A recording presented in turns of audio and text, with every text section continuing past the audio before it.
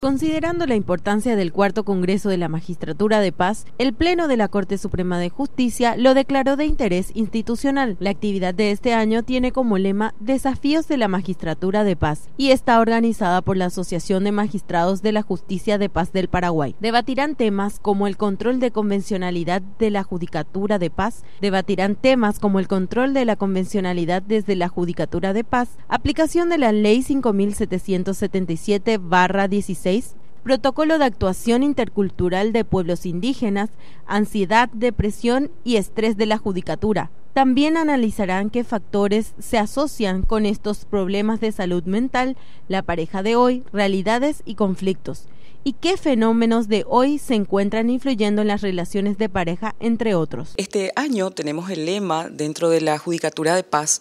Eh, vamos a tratar nuestro cuarto Congreso Nacional de Jueces de Paz, en la cual eh, estamos abocados a los desafíos de la justicia de paz, en la cual vamos a tener invitados eh, nacionales, expositores de primer nivel, donde vamos a estar tratando temas que hacen a la realidad del juez de paz. ¿Qué pasa? Cuando ese magistrado tiene problemas en su casa o falleció alguien o alguna situación que hace que tal vez un nivel de, ira, por así decir, o, estrés o ansiedad eh, sobrepase sus límites. ¿Qué se hace con ese magistrado? ¿Se le echa?